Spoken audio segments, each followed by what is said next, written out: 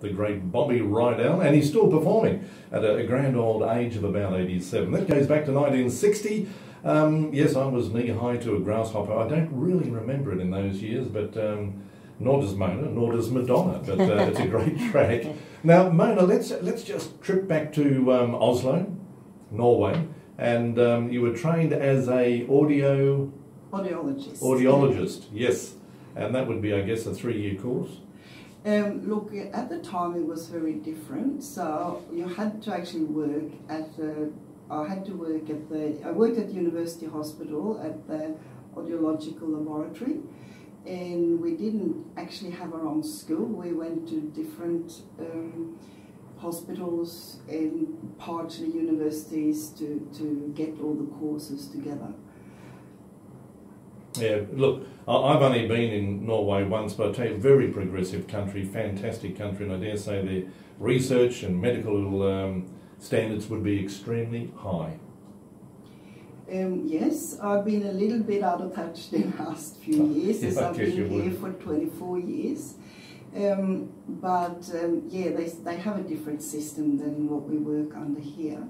Uh, but uh, it's sort of a small industry worldwide, so every um, professional has to, to do development and training throughout their career.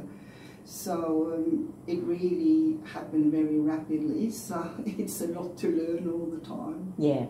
And I, I imagine the great thing these days is that because there's so much research going on, that's just sort of, I would imagine in such a small industry, that would spread like wildfire once one, you know, once the research is released. That gives you more information about how you can help people and what you can do. Absolutely, absolutely. It's it's very fast. Yeah. This this press release you got, um, it's rather frightening. You want to It go through that is. with us? yeah, this was just actually the second of March from the Minister of um, Aged Care, uh, Ken Wyatt, uh, and um, yes, it's um, good thing that he is worried as well, uh, because um, as he also pointed out, it's also for our, our emotional well-being. Uh, it's very isolating not to be able to, to hear and participate in interaction with other people. And it may actually cause people to get dementia um, uh, and depression. Uh, sorry, it causes them to get um, depression when they can't interact. Uh, but also with um, dementia, they, they reckon it can increase by 20%. Um, What I have heard Yeah. is, is very documented research saying that if you are prone to dementia or starting to have dementia and you have a hearing loss and you don't wear hearing aids, um, the dementia process is going to be faster. Snowball. And people might actually misconstrue the hearing loss for the dementia, couldn't they? Like if I'm talking to someone with, you know, the beginning of dementia and they're not hearing or comprehending, I could assume it's the dementia rather than assuming it's partially hearing loss. So it might end up really impacting the way your family and friends communicate what with you causes as well. What causes dementia? That's that's the big question. What causes it? Is it diet? Is it hearing loss? Well, I'm sure it's all connected. Knocks to the head in, Yeah. in sport. Because people think, oh, I hear with my ears. Yeah, the sound's picked up by your ears, but it's all processed in your brain. Yes. So, um, you know, you keep your brain active by having to process all the sounds. And of course, you had a hearing loss for a while, and we give people a hearing aid. And yeah, they want to hear what their kids or grandkids say, but they don't really want to hear the fridge turning on and off or the traffic down the street.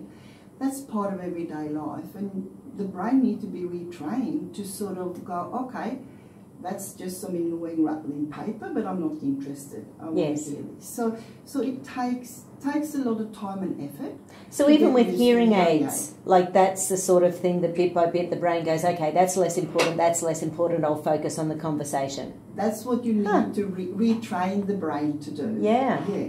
So without the hearing aids and the hearing is going down gradually, according to your brain, well, that's normal. That's normal for me. Yeah. So we changed in normal. So it takes a lot of counselling and practice to, to get all this as well as we can again. And you can do all that. Uh, that's what we spend a lot of time Doing uh, training. doing. Yeah, yeah, counselling, explaining. I believe the more people understand what happens, uh, the more likely they are to succeed with hearing aids. No, I, look, you're a tall lady, a bit like your neighbour Ingrid Bergman from Sweden. She was a tall lady. But have you ever found, and um, I'm six foot four, but you're at a party, it's noisy, there's music, and people are having a conversation around your navel. Do you, do you miss a lot of the words? Because the, the conversation's down there. Uh, well, Not about your navel, but. Uh, Well, hot air rises does sound. um, well, I'm not that tall, so it's not really a big problem. Um, but I think in a situation like that, it's more the background noise, Yeah. and, and as we get older, it is harder to pick up the conversation. Yeah, the, the processing of the sound also become a bit slower as we get older. Now, tell me um, something we hear about a lot tinnitus. Yes, Fairly common, isn't it? And It there's not much that can be done. it is fairly common. There is not a lot that can be done, but there is certain. It's it's always research. There has, to my knowledge, not any good answers to it. You can have a retraining program. You can have tinnitus maskers. But in my personal um, experience, probably about say 60 to 65 percent at least that have a hearing loss and have tinnitus by wearing hearing aids. Well, they reckon nearly 70, 17 to 20% of Australians um, suffer tinnitus. Yeah. So with the ones that have a hearing loss, wearing hearing aids, as I said, probably about 60 to 65 percent find an improvement by wearing hearing aids. Also, most hearing aids today can uh, have a tinnitus masker in there as a program that we can put in. so that if if it's really disturbing, we can send the sound in there. It can be the sound of the ocean. It could just be a white noise, but something to distract it. Mm. It's amazing because Yeah. I, I know a couple of people who do suffer it, and um, they're a bit younger than me, but uh, it can drive people absolutely crazy. Yeah, yeah. With within the natural therapies world, I think uh, there's a lot of research going on with tinnitus in relation to things like curcumin. You know, the activated curcuminoids and that sort of thing, anti-inflammatory. You know, from uh, turmeric and that type of thing, as well as there's a lot of research that's been done on a herb called black cohosh. Once again, it's a bit of an anti-inflammatory. Well, there's And- a misconception that it was a disease, which it isn't. What what is actually happening, and we do spend time explaining to people if you can demystify it a bit. Um, and you know, it's it's actually nerve cells in the brain that that, that when when they sort of die out, and it's in a way the body compensate for what's there. So sometimes I don't know if it's a good example, but sometimes I explain like you know if people have an arm amputated, which I have no personal experience No, of, don't want to. but they can still feel their fingers Yes. and things like that. Right. So there is sort of a similar thing happening in the brain. Of course, sometimes tinnitus can have a medical reason for it, so that needs to be investigated. Um, Because it can be the little bones uh, uh, vibrating. they they might, but that's not the most common Okay. reason. Yep. But in extreme cases, you could have a brain tumor that could cause it, which is you know very very rare. Right. But you would want to investigate other things if you have other complaints.